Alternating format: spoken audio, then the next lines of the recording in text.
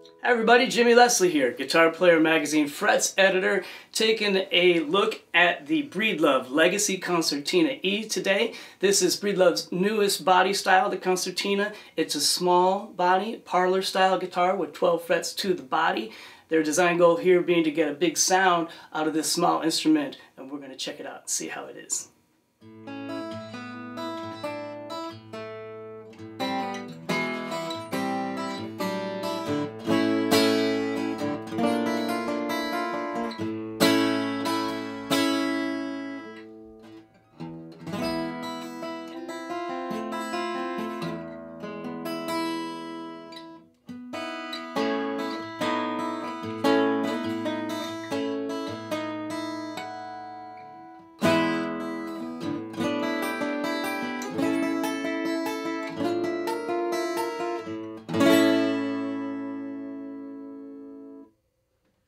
All right, let's take a look at this beautiful body. And if you can tell, I mean, this is small. I'm not a very big dude, and this fits beautifully, like, a little baby here in my arms.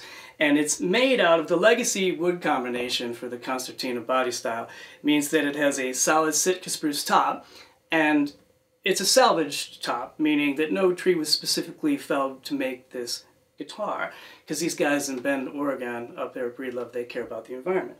So I'm going to flip it around to the back, and wow, you should see it out in the sunshine too. This is beautiful. Cocobolo wood. It's a dense hardwood that they've cut down nice and thin to make this guitar with the goal of being a big sound coming from the small body. Let's uh, take a look at some of the other woods they've used. This is an African ebony for this Delta style bridge right here.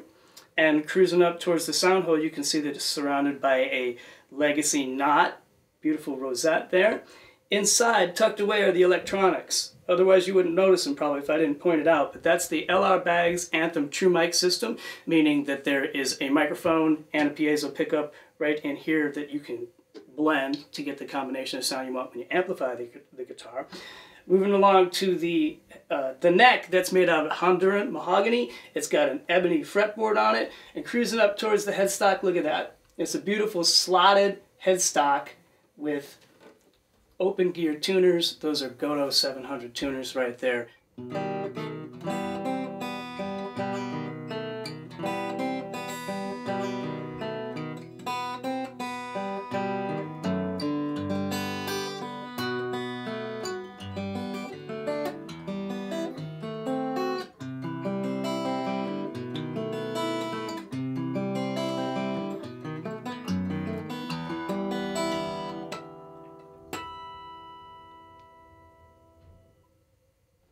Okay, so one thing I noticed right away is the sustain on this baby. I'm just going to strum a chord and let it ring out. Listen to this.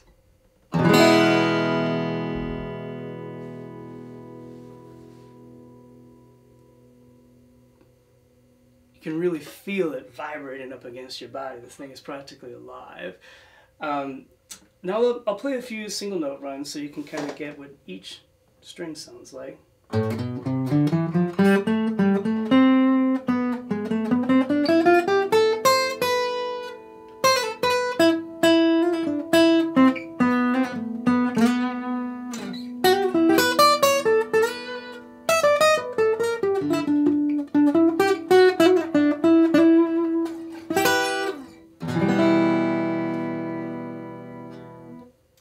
Even this guitar is uh, screams out to be finger picked, doesn't mean you can't play it with a pick. That's for sure. I'm gonna hit some big chords here, and see how it sounds. You'll notice there's a lot of low end coming out of this.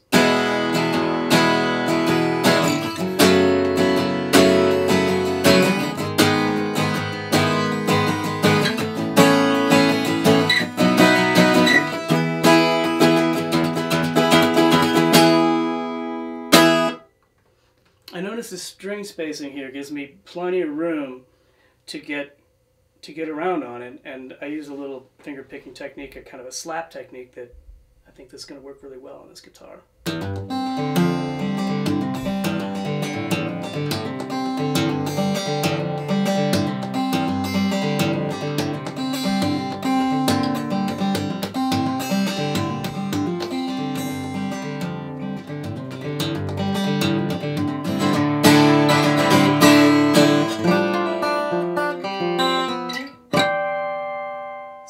The first thing that struck me about this guitar when I played it acoustically was just how much low-end girth was coming out of this small instrument. And then the same thing when I plug it in for the first time and give it a big strum. This system captures the full body of the guitar in, in a beautiful way, a beautiful, bold way. Okay, so I've got my balance set on my LR Baggs Anthem system here, and it is plugged into this an AER Compact 6030 Tommy Emmanuel signature amplifier. I've got all the knobs essentially straight up at, at noon so that the amp is not coloring the sound of the guitar very much. This is the true sound.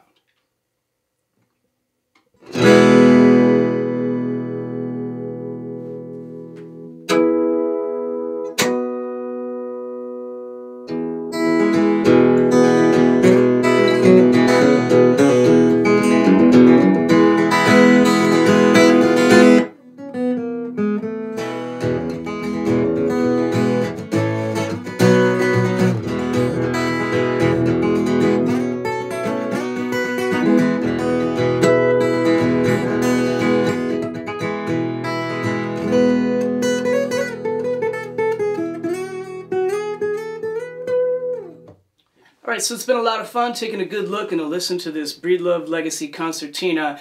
And the thing that really just jumps out at you, big sound from a small body. It's really beautiful and it sounds great plugged in. It's a versatile instrument. Finger picking, very, very easy to play, very articulate, and the kind of instrument that an aficionado is going to appreciate. Hope you appreciated this look and listen today.